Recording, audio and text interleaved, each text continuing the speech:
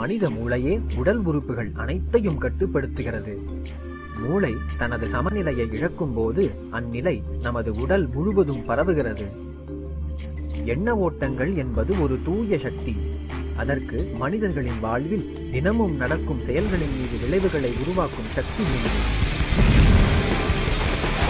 விஞ்ஞானிகள் மனித மூளை மின்காந்த புலத்தை உருவாக்குவதாகவும் அதனை என்செஃபலோகிராஃப் மூலம் அளந்திட இயலும் என்றும் சொல்கின்றனர்.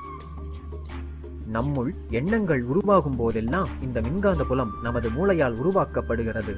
நமது மனம் எப்போதுமே அமைதியின்றி இருப்பதால் நம்மை தொடர்ந்து சக்தியை உருவாக்கிக் கொண்டே இருக்கும் கருவிக்கு ஒப்பிட்டுக் கொள்ளலாம். பயம் நரம்பு தளர்ச்சியை உருவாக்குகிறது. கோபம் தலைவலியையும் வன்முறையையும் உருவாக்குகிறது. குழப்பமான எண்ணங்கள் உறுப்புகளில் தளர்ச்சி மற்றும் உடல்நல கோளாறுகளை ஏற்படுத்துகிறது. மன அழுத்தம் புற்றுநோய் கட்டிகள் மற்றும் மனவியாதிகளை உருவாக்குகிறது. இவற்றால் நாமே நம்மை இறப்பை நோக்கி அழைத்துச் செல்கின்றோம். நமது எண்ணங்கள் சிக்கலான சக்தி அமைப்பினை உருவாக்குகிறது. இதனை சக்தி வாய்ந்த உபகரணங்களால் கண்டுபிடிக்க கூடும் மேலும் ஞானமடைந்த ஞானிகளால் உணர இயலும். இந்த சக்தி அமைப்புகளே எண்ண உருவங்களாக அறியப்படுகிறது. ஆச்சரியப்படும் வகையில் நமது எண்ணங்களே உருவங்களை உருவாக்குகிறது. நாம் ஒவ்வொருவரும் நூற்றுக்கணக்கான எண்ணங்களையும் உருவங்களையும் தொடர்ந்து நம்மை சுற்றி வெளிப்படுத்திக் கொண்டிருக்கின்றோம். நம்மால் அவற்றை பார்க்க இயலாத போதும் மற்ற சக்தி வடிவங்களைப் போல அவை தொடர்ந்து இருக்கின்றன. நிறைய மனிதர்களுக்கு அடுத்தவர்களின் எண்ண உருவங்களை உணர முடியும். ஆனாலும் அவர்களுக்கிடையே சக்தி பரிமாற்றமானது விழிப்புணர்வு இன்றியே நடந்து கொண்டிருக்கிறது.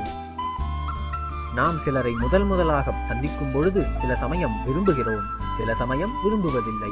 இதற்கு காரணம் மேற்கண்ட சக்தி பரிமாற்றமே. அன்கிளச்சிங் ஞான நிலையை அடையும் வழி. எண்ணங்கள் மீன் தொட்டியில் உள்ள நீர்க்குமிழி போன்றது. மீன் தொட்டியில் நீர்க்குமிழிகள் அடியிலிருந்து மேல் நோக்கி எழுவது போல்தான் நம்முள் எண்ணங்கள் உருவாகின்றன. ஒரு நீர்க்குமிழி தண்ணீரின் மேற்பரப்பை அடையும் போது அடுத்த குமிழி ஆரம்பிக்கிறது. பிறகு மூன்றாவது குமிழி உருவாகின்றது. நீர்க்குமிழிகள் வேகமாக உருவாவதால் அவை ஒன்றோடு ஒன்று தொடர்புடையது போல் தெரிகிறது. ஆனால் நம் மனம் ஓர் தொடர் ஓட்டம் அல்ல. இரண்டு எண்ணங்களுக்கிடையே இடைவெளி உள்ளது. ஆனால் நீர்க்குமிழிகள் போல எண்ணங்களுக்கு இடையே இடைவெளி இல்லாதது போல் நாம் உணர்கின்றோம். இரண்டு எண்ணங்களுக்கு இடையே உள்ள இடைவெளியே நமது உண்மை நிலை. அதுவே சுத்தமான உண்மையும் அமைதியும் ஆகும் இதுவே உண்மையான விழிப்பு நிலை. அதுவே கடவுள் நிலை. இரண்டு எண்ணங்களுக்கிடையே உள்ள இடைவெளி மிகச் சிறியது. ஆதனால் நாம் எண்ணங்கள் ஒன்றுக்கொன்று இணைக்கப்பெற்று தண்டுபோல் இருப்பதாக நினைக்கின்றோம். ஆனால் எப்பொழுதும் இரண்டு எண்ணங்களுக்கிடையே இடைவெளி இருந்து கொண்டுதான் இருக்கின்றது.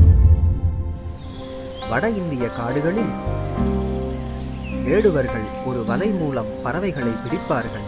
ஓர் கயிற்றை இரு மரங்களுக்கு இடையே கட்டிவிடுவார்கள். அந்த கயிறே இரண்டு எண்ணங்களை இணைக்க நாம் உருவாக்கிக் கொள்ளும் தண்டு. அந்த கயிற்றின் நடுவில் ஓர் குச்சியை கட்டிவிடுவார்கள். அந்த குச்சியே நம் மனம். குச்சியின் நடுவில் கயிறு கட்டப்பட்டிருக்கும். ஒரு பறவை வந்து அந்த குச்சியில் அமரும் பொழுது அதன் எடையின் காரணமாக அந்த குச்சி தலைகீழாக தொங்கும். இப்போது அந்த பறவையும் குச்சியில் தலைகீழாக தொங்கும். குச்சி தலைகீழானதும் அதை பிடித்துக் கொண்டிருக்கும் பறவை தனது நிதானத்தை இழந்து குச்சியை கெட்டியாக பிடித்துக் கொள்ளும். தன் உயிரே அதில் இருப்பதாக கருதி அந்த குச்சியை வலுவாக பற்றி கொண்டு தலைகீழாக தொங்கும். அதுபோலவே நாமும் எண்ணங்களை இணைத்து மனத்தை உருவாக்கி மனத்தை விட்டுவிட்டால் நமது அடையாளத்தை இழந்து விடுவோம் என்ற பயத்தில் வாழ்ந்து கொண்டிருக்கின்றோம். அந்த பறவை தலைகீழாக தொங்குவதால் அந்த பறவை குச்சியை விட்டால் கீழே விழுந்து இறந்து விடுவோம் என்று நினைக்கிறது. அதுபோல்தான் நாமும் நமது எண்ணங்களை ஒன்றுக்கொன்று தொடர்பில்லாதது என்பதையும் சுதந்திரமானவை என்பதையும் நாம் அன்கிளச்சின நிலையில் உள்ளோம் என்பதையும் உணர அஞ்சுகின்றோம். நமது அடையாளத்தை இழந்து விடுவோம் என்று பயப்படுகின்றோம். அந்த பறவை பிடியை தளரவிட்டு ஓரிரு நொடிகளில் நிதானத்தை அடைந்தால் அதனால் பறந்து செல்ல முடியும்.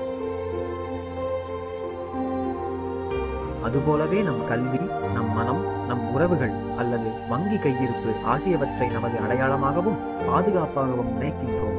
அவற்றை கெட்டியாக பிடித்துக் கொண்டிருக்கின்றோம். அந்த பறவையைப் போல நமது மனதை கைவிட்டால் நாமும் பரமவம்சமாக மாறிவிடலாம். அந்த நிமிடமே சுதந்திரம் அடைந்து விடலாம் என்பதை உணர மறுக்கின்றோம்.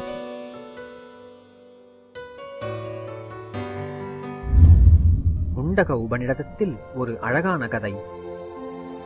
ஓர் உயர்ந்த பெரிய மரம் அந்த மரத்தின் உயரமான கிளையின் மீது ஓர் பொன்னிறப் பறவை எல்லாவற்றிலிருந்தும் விடுபட்டு தட்சிணாமூர்த்தியை போன்ற ஞான நிலையில் அமர்ந்திருக்கிறது. சமாதியில் பேரானந்த நிலையில் இருக்கிறது. கீழே உள்ள கிளையில் இருந்த சிறிய பறவை கிளைக்கு கிளை தாவி பழங்களை சுவைத்தது. கசக்கும் பழத்தை சாப்பிடும் போதெல்லாம் அந்த சிறிய பறவை சமாதியில் ஞான நிலையில் அமர்ந்திருக்கும் பெரிய பொன்னிறப் பறவையை பார்க்கும். கசப்பான பழத்தை சுவைக்கும் போது அமைதியாக அமர்ந்திருக்கும் அந்த பொன்னிற பறவையை பார்த்து நாமும் அதுபோல் ஏன் இருக்கக்கூடாது? என்று நினைக்கும். ஆனால் இனிப்பான சுவையான பழத்தை உண்ணும் பொழுது அந்த பறவையை மறந்துவிடும். ஆனால் மீண்டும் கசப்பான பழத்தை சுவைத்துவிட்டால் மேலே அமைதியாக உள்ள பொன்னிறப் பறவையை பார்க்கும். அதுபோல மாறிவிடலாம் என்று மீண்டும் நினைக்கும். இப்படி கிளைக்கு கிளை தாவி கசப்பான மற்றும் இனிப்பான பழங்களை சுவைக்கும் அந்த சிறிய பறவை ஒரு நாள் உயர பறந்து பொன்னிறப் பறவை அருகே சென்றது. அப்பொழுதுதான் தானும் அந்த பெரிய பறவையின் பிரதிபலிப்புதான் என்பதை உணர்ந்தது. அந்த சிறிய பறவை தானும் அந்த பொன்னிறப் பறவையும் ஒன்றே என்பதை உணர்ந்த அந்த கணமே பரமஹம்சமானது. இந்த பறவையைப் போல் நீங்களும் உங்களை நம்புங்கள். உங்கள் அடையாளத்தை இழப்பதை பற்றி கவலைப்படாதீர்கள். உங்களின் உண்மை நிலையை நம்பி உங்களின் அடையாளத்தை கைவிடுங்கள். அந்த கணமே சுதந்திரத்தை உணர்ந்து பரமஹம்சராவீர்கள்.